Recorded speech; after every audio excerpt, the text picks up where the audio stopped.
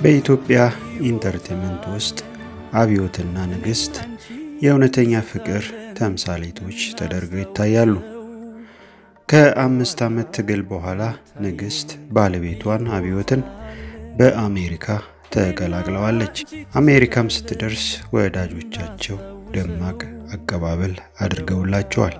አብዮትም በኢንስታግራም ገጹ ይህንን አስፍሯል። እግዚአብሔር ይመስገን እናቴ ቅድስት ድንግል ማርያም ክብር ምስጋና ይገባታል።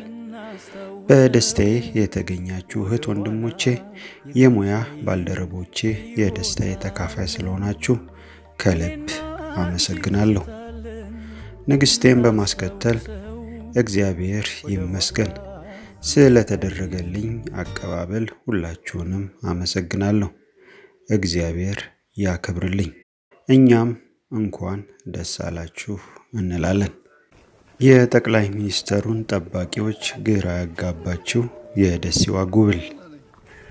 ጠቅላይ ሚኒስተር አብይን ብዙ ሰዎች ይወዱታል፣ እንደዚያውም የሚጠሉት አሉ። ትናንትና ግን በደሴ የታየው ከወትሮ ለየት ይላል።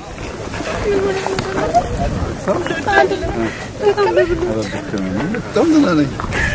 በጣም ደህና ነኝ። እኔ በጣም በጣም ደህና ባሉ አጣል ይደክማል። እናንተ እያላችሁ እናንተ ዶ እያለ ደክማል። አለክ ታስቡ፣ ሁሉ ሰላም ነው።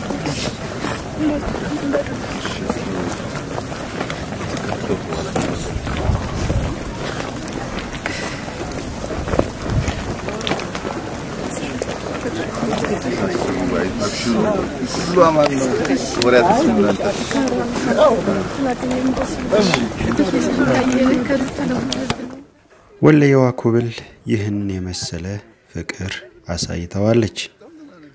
ወለየዎች ለፍቅር ማን ብሏቸው?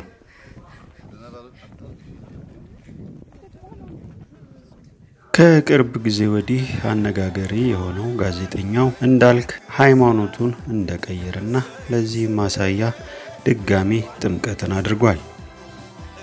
እንዳልክ ከዚህ በፊት በኦርቶዶክስ ቤተ ክርስቲያን ቤት እንዳደገ ይታወቃል።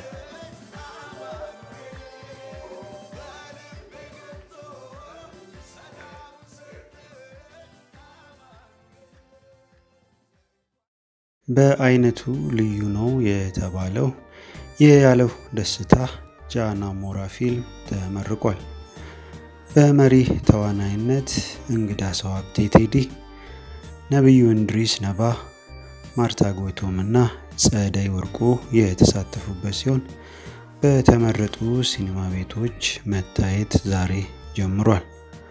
ታዋቂ አርቲስቶች በምርቃቱ የተገኙ ሲሆን ያንቀላፋውን የሀገራችንን የፊልም ኢንዱስትሪ ያነቃቃል ተብሎ እየተጠበቀ ይገኛል።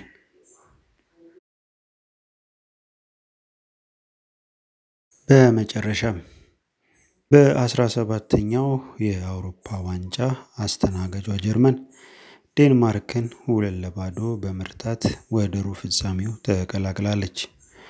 ውጤቱን ተከትሎም ጀርመን በሩብ ፍጻሜው ከስፔንና ጆርጂያ አሸናፊ ጋር የምትጋጠም ይሆናል።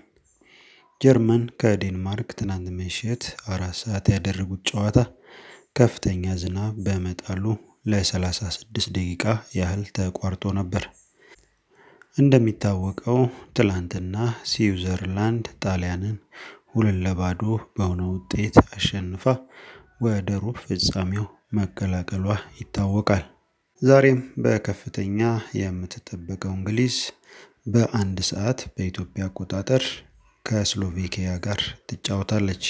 ከምሽቱ አራት ሰዓት ደግሞ ስፔን ከጆርጂያ ይጋጠማሉ። ለሰዓቱ የነበሩን የቡና ማጣጫ ወሬዎች እነዚህን ይመስላሉ።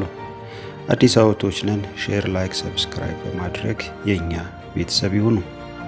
በያላችሁበት ጤና ይስጥልኝ።